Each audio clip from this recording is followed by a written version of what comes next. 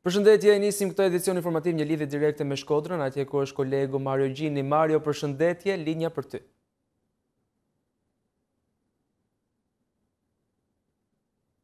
Ju përshëndes nga Shkodra, mirëmëngjes në këtë ditë me diell do të kemi mundësi të flasim për projektligjin në lidhje me shëndetin seksual dhe atë riprodhues, i cili ditët e fundit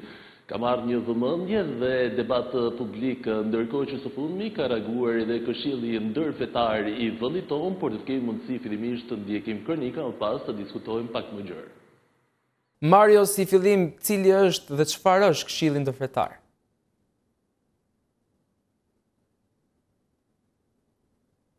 Në fakt, këshilli ndërfetar i vendit tonë është produkt i harmonisë dhe tolerancës fetare i krijuar që në tetorin e vitit 2007. Ai përbëhet natyrisht nga komunitetet fetare, komunitetet tradicionale fetare, fillimisht nga katër të tilla, për t'u plotësuar më vonë nga pesë, ndërsa duhet thënë është komuniteti musliman i vendit tonë dhe komuniteti ortodoks për të vijuar me besimin katolik dhe bektashian, ndërsa së fundmi është edhe besimi ungjillor. Pikërisht këta, të gjithë së bashku, Komunitetet fetare përbëjnë edhe Këshillin Ndërfetar të vendit tonë. Ky i fundit ka një bord dhe quhet Presidenca e Këshillit Ndërfetar e pikërisht ka reaguar për sa i përket projektligji që po diskutohet në mjedise publike dhe jo vetëm, po kryesisht në Ministrinë e Shëndetësisë në lidhje me shëndetin seksual dhe atë riprodhues, një projektligj që duhet thënë për hir të së vërtetës ka marrë vëmendje publike përmes debateve dhe ndërkohë që vetë Këshilli Ndërfetar ka krijuar edhe një grup të posaçëm specialistësh të përbërë nga juristë, nga teologë, nga sociologë të ndryshëm për të patur edhe ata rezymenë e tyre apo relacionin e tyre në lidhje me ligjin që në fakt i mungon një relacion zyrtar sipas Këshillit Ndërfetar të Shqipërisë dhe që natyrisht do duhet të jetë i nevojshëm që të pasqyrohet diçka në lidhje me atë se çfarë kërkon Këshilli Ndërfetar i vendit tonë. Pikërisht ky grup ka arritur në disa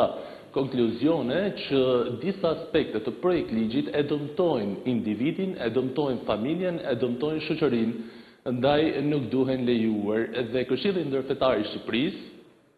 ka reaguar, po njëkohësisht ne në Shkodër kemi patur edhe reagimin e zëdhënësit të Konferencës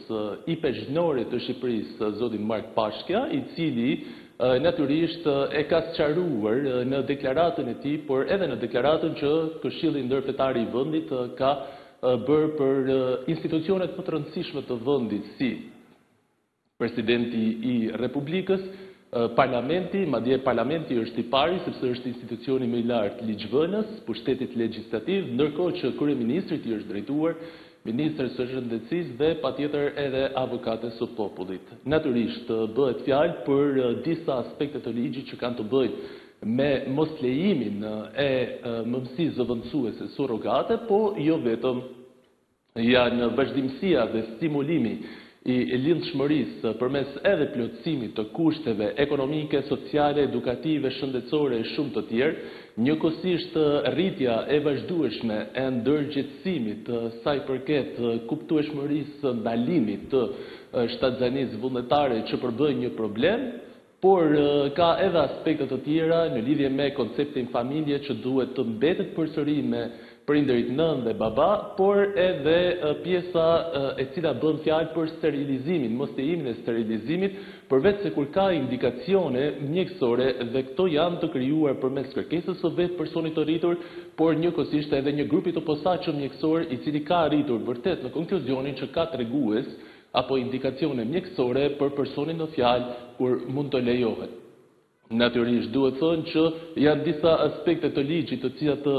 Konferenca apo Ipeshkvnore, por edhe Këshilli Ndërfetar i Shqipërisë nuk bien dakord dhe që synojnë më së paku të jenë pjesë e debatit të hapur e natyrisht të jenë pjesë e vazhdueshme e palëve si palë e interesit në fakt për ligjin në fjalë